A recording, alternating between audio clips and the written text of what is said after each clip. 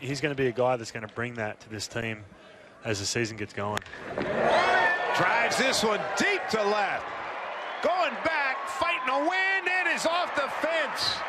Coming around the scores Paolini. Right behind him is O'Neill. Be no throw, and Daniel Robertson a ringing two-run double.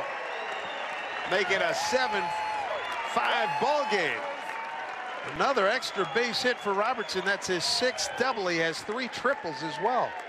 Showing some pop, too, along with that speed. Take a look at the swing. Gets a pitch like a breaking ball, middle in. I think he thought he had it, but ends up hitting in the middle of the fence. Ryan, to your point, you're right. You have him, O'Malley, some guys that they can call up to help their club.